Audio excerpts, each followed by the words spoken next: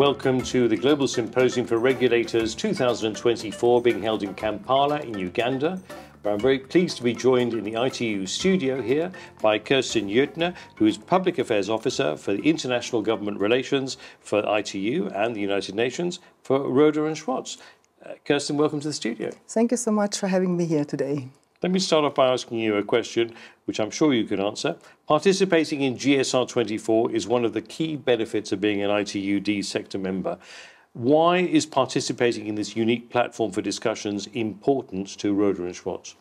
Well, for Rohde and Schwarz, it is important to have this exchange and to understand needs and challenges of regulatory authorities and to understand what is the issue and challenges when implementing, for example, new critical infrastructure. This exchange is very important to implement new um, innovations and to implement um, new future directions in Rohde and Schwarz high-tech technologies. Yeah, trust is for me a very big important point. So trust is key, not only in our products, but also in the company, but even more in our people. So trust needs to be earned. And therefore, we are here at GSR to stay connected. Excellent. Now, regulation for impact, that's the theme for this year's GSR. In your opinion, what does the industry, what role does industry play in the conversation with regulators, peers, and other digital stakeholders? Well, regulation for impact, first of all, for me, it means to understand the challenges the world is facing to get connected and um, yeah, it, it, ITU's work in radio and standard and in developing digital development has been making global communication um, possible for six, 160 years.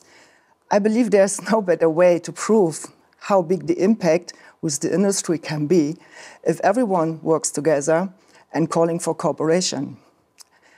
A holistic picture of everyone's point of view will make regulation more agile. So, yeah, I think that's it.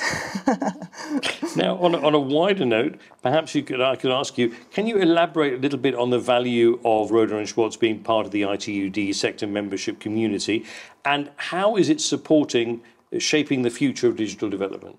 Yes, um, and Schwarz is uh, a full sector member for 60 years now, and I truly believe um, also a big key is education. So we cooperate strongly since 2012 together with the ITU Academy.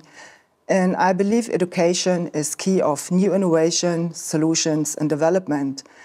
And we do cooperate with ITU Academy to share our expertises and experiences and also focus on developing countries. And it is important to share our expertises and experiences that everyone has a chance to take this great knowledge back to their country and to bring forward and drive forward digital development, digital transformation for a safer, better connected world.